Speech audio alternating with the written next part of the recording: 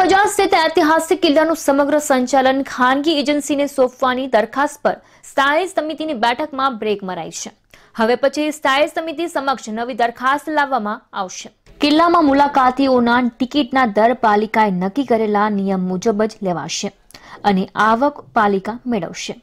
અને આ સિવાય ફૂડ કોર્ટ વિવિધ ગેલેરીઓમાંથી થતી આવક ખાનગી એજન્સીને મળે તે રીતનું હાલ આયોજન છે. જેથી આ દરખાસ્ત પર વધુ અભ્યાસ કરાશે. સંચાલન ખાનગી એજન્સીને સોંપાય તો ટિકિટના દરમાં વધારો થવાની સંભાવના છે, જેથી લોકોએ વધુ રૂપિયા ચૂકવવા પડે. પાલિકાએ નક્કી કરેલા દરે જ ટિકિટની ફી લેવાય તે માટે ચર્ચા કરાશે. નોંધનીય છે કે સુરત મહાનગરપાલિકા દ્વારા મેન પાવર સાથે સંપૂર્ણ ઓપરેશન મેન્ટેનન્સ કરવામાં આવે તો માસિક અંદાજિત સત્યાવીસ પોઈન્ટ અડતાલીસ લાખનું આર્થિક ભારણ આવશે. જેની સામે માસિક આવક ચાર પોઈન્ટ બ્યાસી લાખ થશે. પરંતુ મેનેજમેન્ટ એજન્સીને સંચાલન સોંપાય તો અંદાજિત માસિક આવક અગિયાર પોઈન્ટ બોતેર લાખ થવાનો અંદાજ દરખાસ્તમાં રજૂ કરાયો હતો.